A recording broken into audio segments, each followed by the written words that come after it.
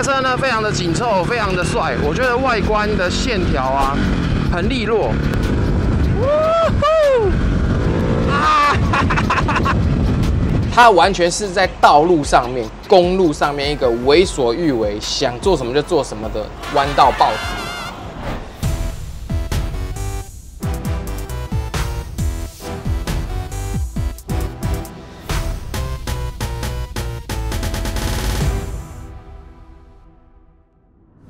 嘿，究竟怎么样子的一台车，它能够在路上为所欲为，想怎么骑就怎么骑，完全不用花脑筋？对小二我来说，它完全是一个弯道暴徒，超级暴力。嘿，大家好，我是巴卡小二，今天要跟大家分享就是在我身旁的这个杜卡迪的 Hypermota 950，帅的，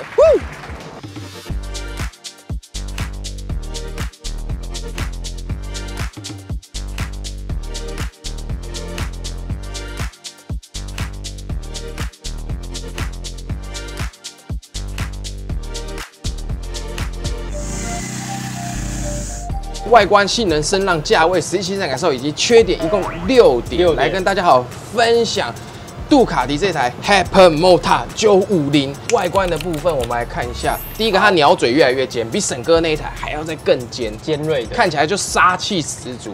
还有它的排气管是从沈哥的原本是从下面这样绕过来，在侧边，对不对？对它直接中出啊！你从后面看，它好像战斗机的那个我也是喜欢后排气管，对是两根这样唰的，这样绕上来，对不对？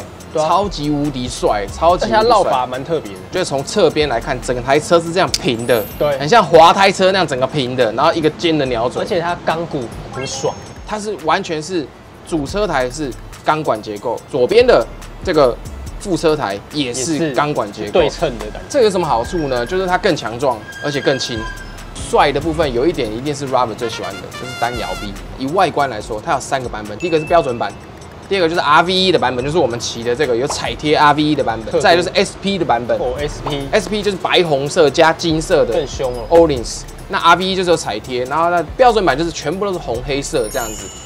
我个人觉得 RVE 的版本单摇座配上它的那个三爪式的那个轮框，一半红一半黑，对哇，很帅。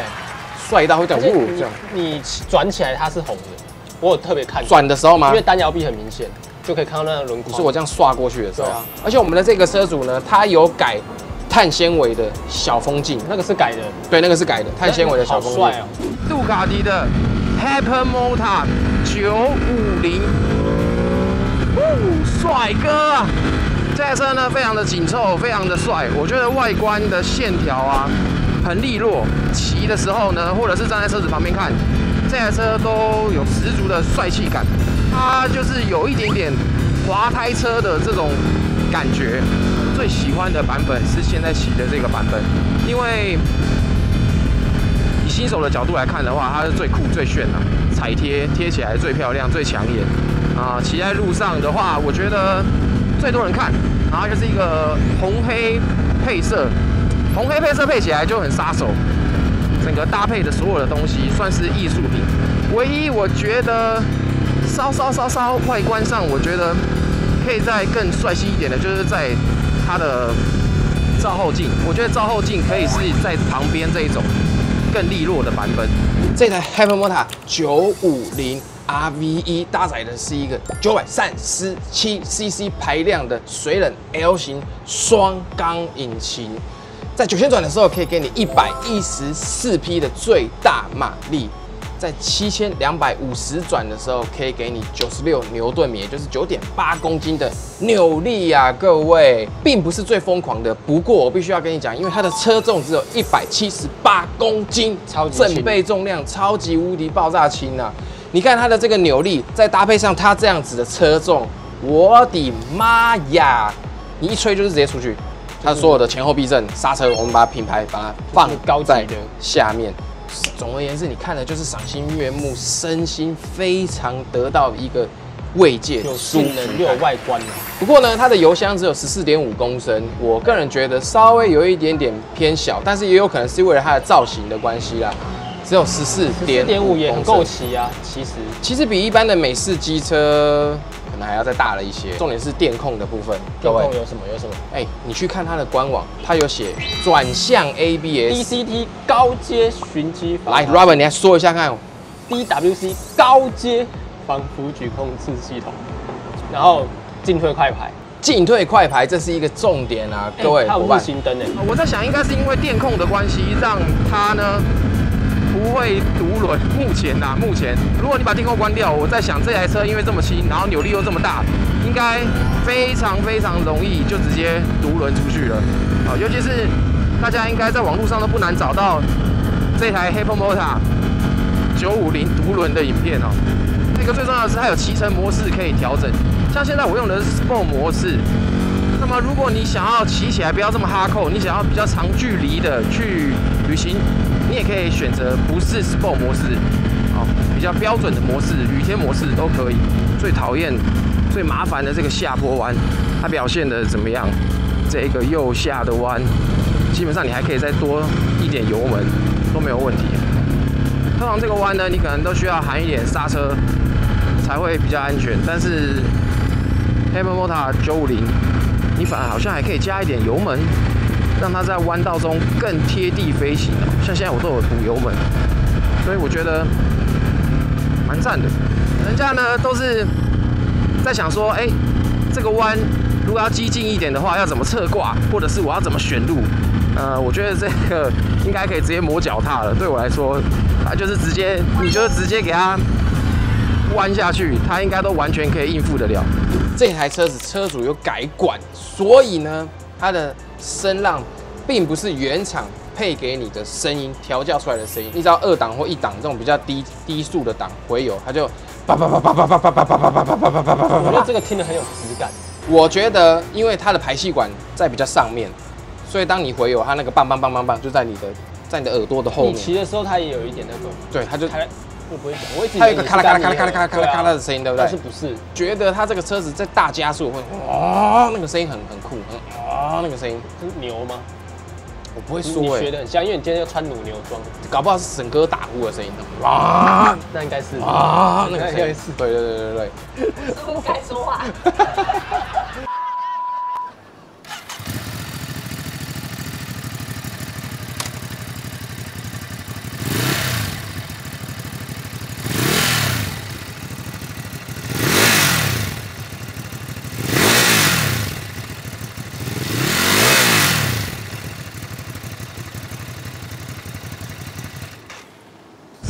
分呢，我觉得如果以沈哥的那一支管跟现在车主的这一支管呢，我觉得沈哥的那一台又在更快、更暴力一些。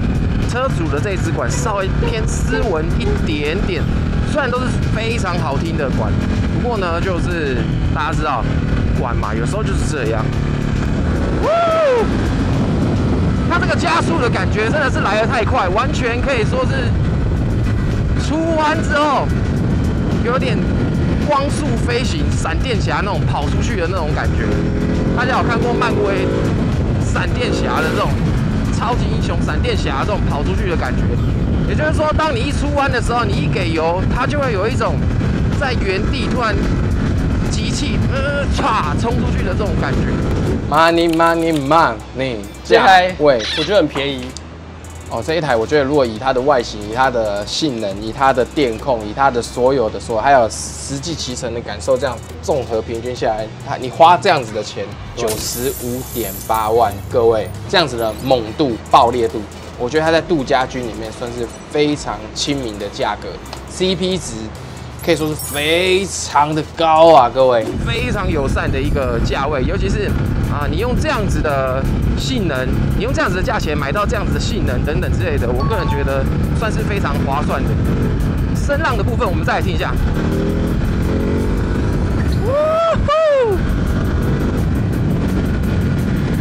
Oh my god！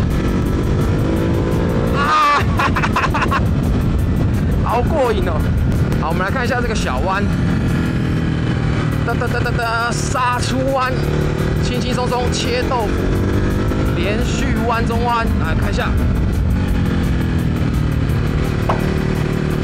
哇，非常的简单，反而还贴这个右边的草，有点太近了。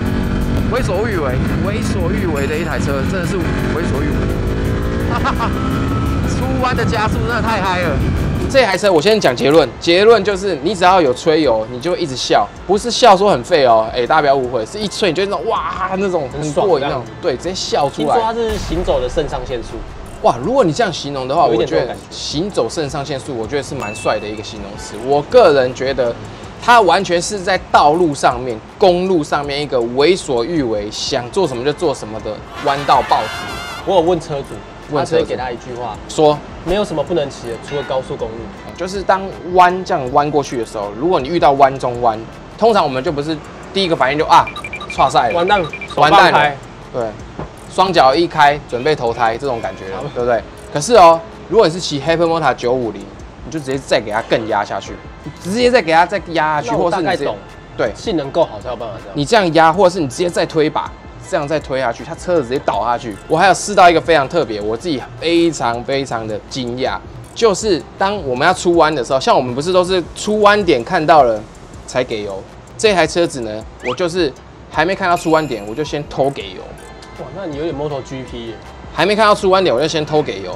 然后你偷给油的时候呢，从头到尾不会外抛，你只会怕说你这样倾倒下去，离这边的草太近，啊你有山壁的草。四块牌，我有四块牌，很很顺嘛。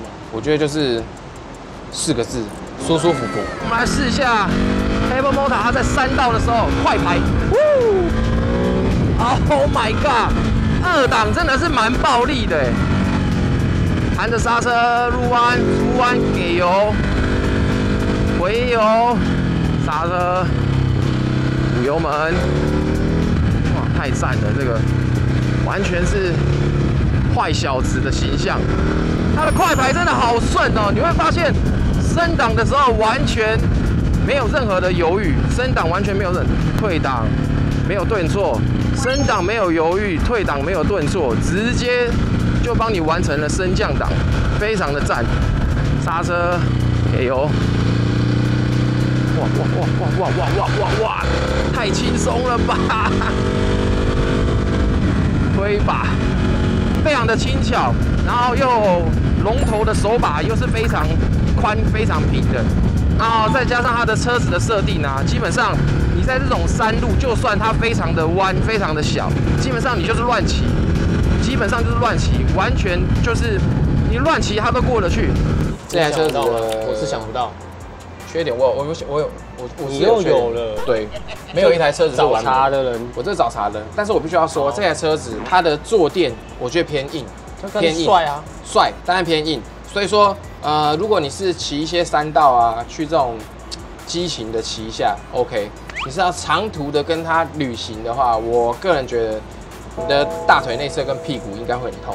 如果你有骑这台车挑战日环一日环岛的人，欢迎在下面嘴你，嘴你要用嘴的，就对你的屁股，因为你把它就讲成缺点。对对对对对你的屁股好弱之类这样子都 OK，没有问题。那它尾灯也是一个缺点。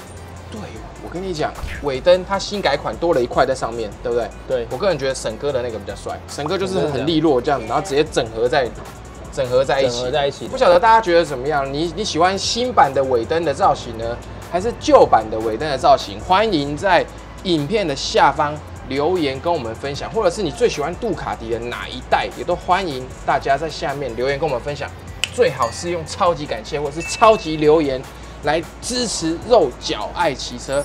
最后的最后，究竟什么样子的一台车能够被大家称作是行走肾上腺素、为所欲为的弯道暴徒，想怎么骑就怎么骑，根本就没有关系。嘿，大家好，我是马咖小董老板。我们还是那句老话，每个人一定都要有一台属于自己的重机，那就对了。这次落脚汽车，喜欢我们频道记得要按赞、订阅、分享、开启小铃铛，拜拜，帅的。呼